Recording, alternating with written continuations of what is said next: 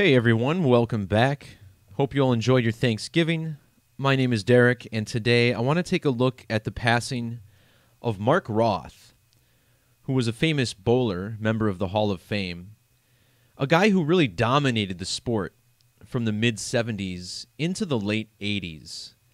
And his cranking style inspired a generation of bowlers to take up the sport within the past few decades.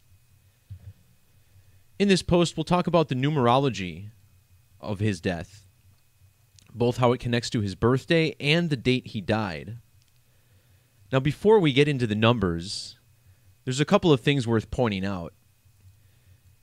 Mark Roth was so good that the Professional Bowlers Association, also known as the PBA, named their annual league MVP award after him.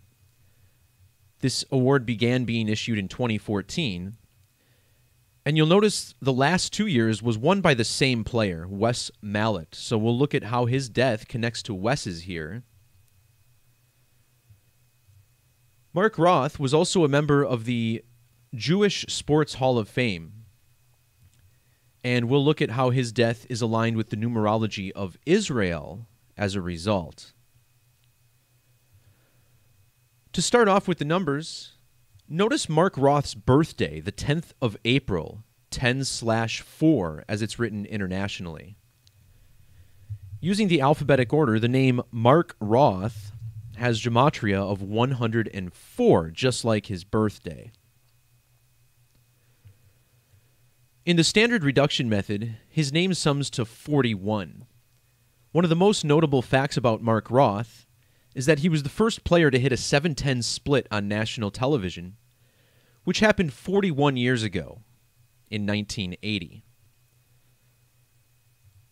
Of course, the date April 10th can be written 4 slash 10 here in the United States, a lot like that 41. Wes Malott, the current Mark Roth MVP award winner, intriguingly has exactly 41 perfect games to his credit. And again, that 710 split was hit 41 years ago, and 710 sums to 41 and 104, just like the name Mark Roth in that same cipher.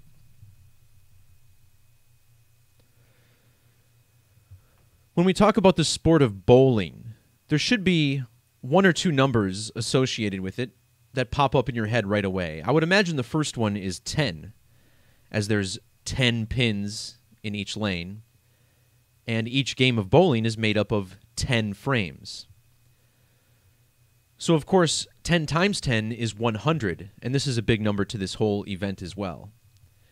First of all, we start with the governing body of professional bowling in the United States, the main one, which is the PBA. And notice how in our standard reduction, or Pythagorean method, PBA has a gematria value of 10. Again, 10 pin bowling, the sport it governs. Mark Roth was born on the 10th day of the month.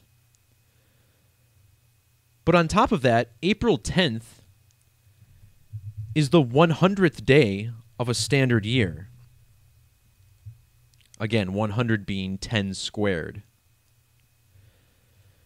Which is good, a good date for a professional bowler to be born on. Notice how professional bowler has a gematria value of 100 in the reverse reduction method.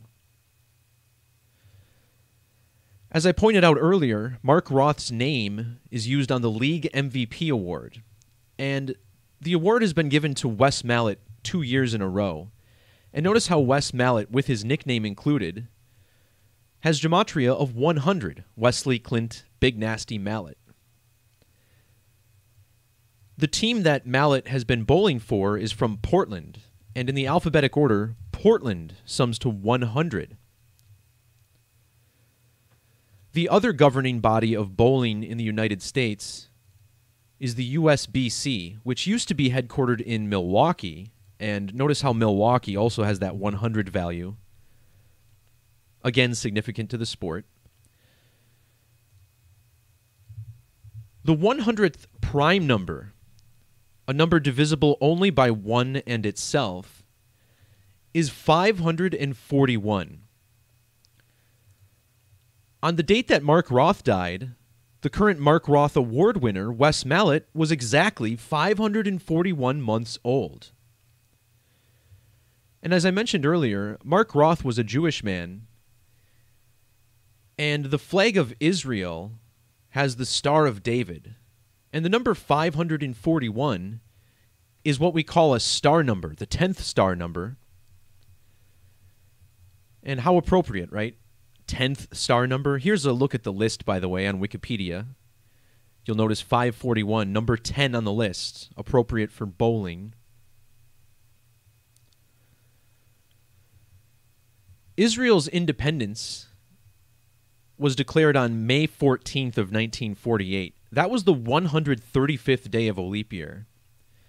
And now notice how Mark Roth has died 135 days before his next birthday.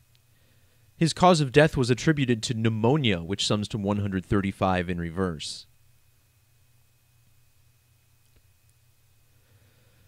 If we measure from Israel's date of independence to the birth of Mark Roth, notice how we get this span of 151 weeks and 5 days. Now, this number is pretty significant. I don't talk about it very often, but the number 1515 really stands out here. 1515 is the gematria of two very significant occult numbers. The first one being 13 using square numbers, alphabetic order with squares applied. And also 33, which is in the standard English extended method, 33 summing to 1515.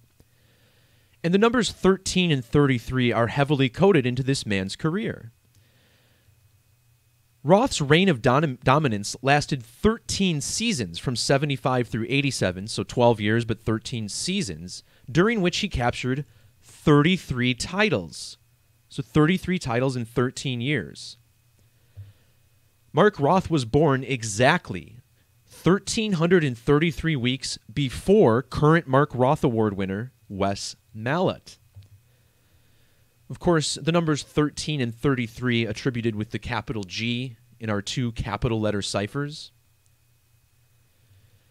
But what's curious about this is that the number 1330 or 3313, I should say, is another star number. You'll see it on this list, 33 and 13. And what stands out about this is that this is the 24th star number.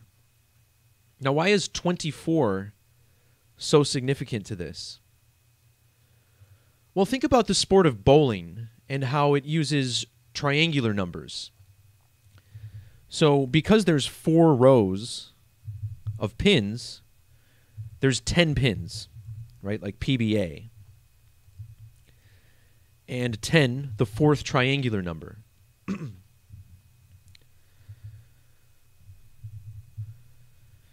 the 24th triangular number is 300. And think about how a game of 300 is called a perfect game in bowling. The 300th prime number is 1987, and 1987 is the year during which Mark Roth's reign of terror over the sport ended. The 300th prime, how perfect.